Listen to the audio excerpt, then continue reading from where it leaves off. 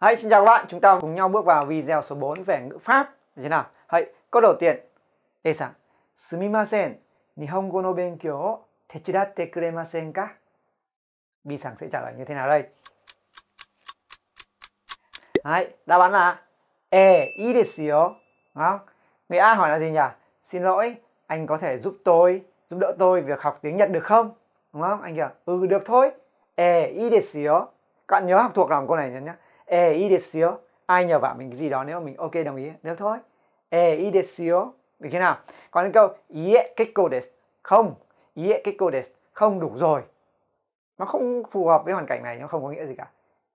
Tiếp theo là gì? Đô mộ là cảm ơn, với cả gì? Arigato gozaimasu cũng là cảm ơn. Nhưng mà gì không sử dụng trong trường hợp này. Được chưa? Hãy, chúng ta chuyển sang câu số 2 đúng không? Doste taksan kaimashita ka? Vì sao? Ừ. Câu này sẽ nhiều bạn phân vân đây. Ok, đáp án của chúng ta là gì nhỉ?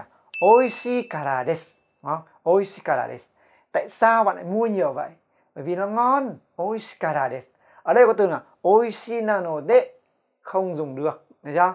Nếu mà các bạn muốn dùng cái từ no đến thì các bạn chỉ cần các bạn phải bỏ na đi. Oishi no de.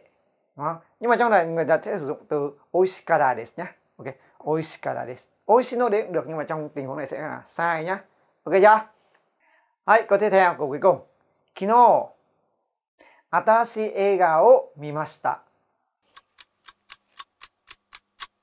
Ok, câu này là gì nhỉ? Kino neru mai ni, đúng không? Neru mai ni atarashi eiga o mimashita. Hôm qua trước khi đi ngủ thì tôi đã xem bộ phim mới. Được chưa nào? À, nhớ nhé, trước khi làm gì đó thì chúng ta sẽ có mẫu câu là gì nhỉ?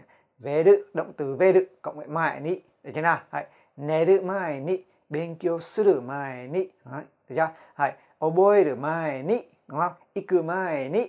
Đấy. Được chưa nào? Động từ dạng về được cộng với lại mai ni trước khi làm gì đó. Ok chưa? Hãy vậy là bài học ngày hôm nay của chúng ta kết thúc tại đây rồi. Bye bye các bạn!